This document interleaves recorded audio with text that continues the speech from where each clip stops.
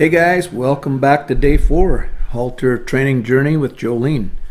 So today I'm going to be working with her in their paddock uh, for a couple of reasons. It's fresh, I can go right to her, and sometimes you'll get a different attitude as you will see in their in their paddock than you will when you go outside. So I find the training starts right in their pen, whether it's a catching issue or a leading issue, it starts right there.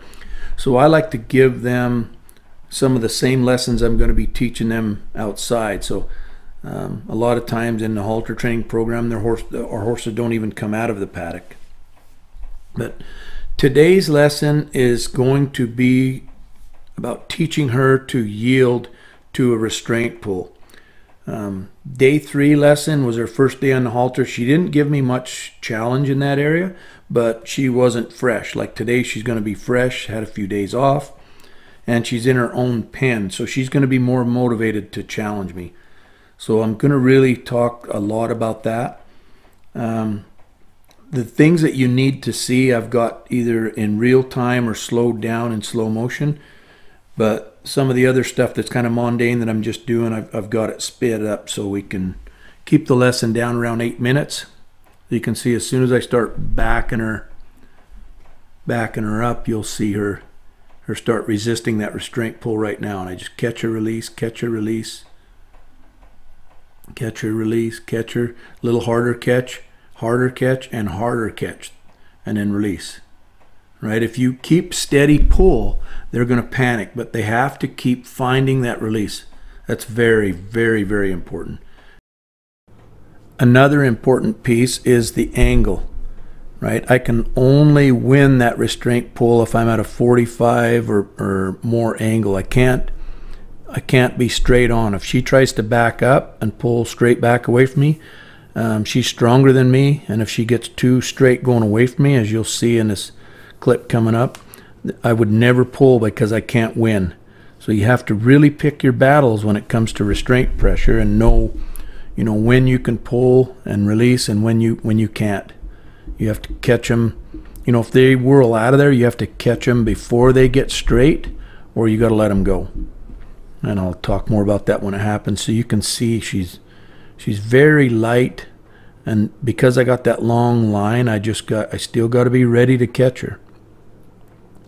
She's still yielding. I, I still make it about putting her neck down so she knows that's a that's a quitting place. I'm trying to talk her out of it by putting head down because in the future I'm going to, uh, I'm going to, we're going to talk her out of lots of things by putting her head down, right? If she's bad with a farrier, bad to deworm, nervous in her surroundings, just by putting that head down, you can bring them back to, uh, back to neutral again.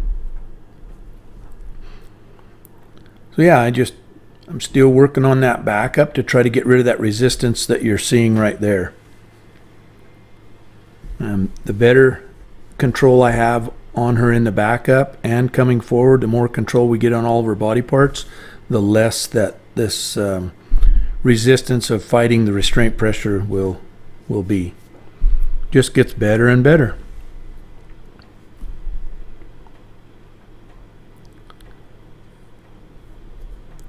So right here I'm working on shoulder and now I've got it in slow motion. This is where she pulls away from me. You can see how loose my hand is. So she just she really takes off fast right here and just rips her head. See, she ripped her head and pulled it away from me, then got straight. See, I was getting ready to pull her, but she got straight. If I would have pulled on her right there, she would have reared over backwards. Or if she was big enough, I couldn't have won the pull. But right now I set her up so I'm at that 45. Take the slack out slow, pull hard, release for the hip going around, catch her again. See her throw that hip at me. She pushes that hip towards the rope. That's what they will all try to do. Horses learn to do that. But I'm diffusing this fight like it's not much of, it would be way worse of a fight. I've learned that the hard way. If I would not give them that release, that slack. I need to, to pull them hard, but throw that slack at them again. See how I throw that slack right back at her again? So, you know, steady, mundane pressure is not your friend, guys, when you're working with horses. You, you always want to be uh, really light and that's why we put the strategic lessons of the how-to's in your libraries because it's it's so important and there's so much to talk about in the lesson the how-to, I find I don't get to cover the, the what and the why. And that's what the purpose of this journey video is, is to cover the what I'm doing and why. So right here is when I start teaching her uh, to yield to the pressure coming forward. teachers start leading forward. So I bend her to motivate her to move her body, any part of her body, and I release for whichever body she moves first. And it's it's always their hips I find most of the time. And with her, it's the backup. And you'll see there. See, I release for that shoulder and release for that shoulder and release for the shoulder, stepping towards me. And then I then because I got the shoulder a few times, I'm going to switch and go the other side.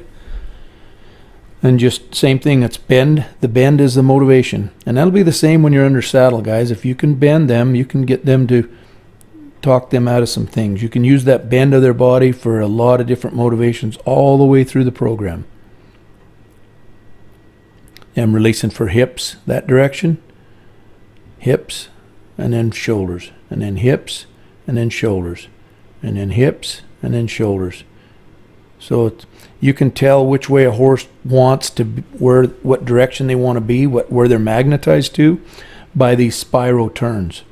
And she wants to go out down in the corner. That's where uh, Sandy is at the moment. So she don't want to leave Sandy. She I'm trying to get her to go to the hay so I can let her rest on hay. So there comes Sandy back around. She's been going back and forth. When Sandy went up the pen, she followed her up. Now Sandy comes back again. She's going down. So you'll see here it gets close to where I start. I put it back to real time because she really broke free right here. So she broke free and took several steps forward. That's that's what that whole circling was about. So circling your horse to motivate him, guys, starts right back here on day four. Or it could have been day three, depending on your horse, but it starts early on in their lessons. And then I just I just let her have her um, hay there, so she got motivated by being left alone and eating her hay. So it was a, a double whammy. And then I just go get a brush and just use the brush. The currycomb's kind of a scratching deal. I just kind of touch her all over. It's very light. I'm not trying not to make it uncomfortable for her. She's got a lot of um, hair that I'm trying to, winter hair still that I'm trying to get off her, but I'm not going to do it all on this first time. I'm just going to make it a pleasant experience and get so I can touch her feet. So on this side, I just work on touching her legs and then I'll come back and work on picking them up. But just for the video's sake, I touched her legs on this side and then the other side, I took it because she was good about it. I went to the other side and I'm picking them up.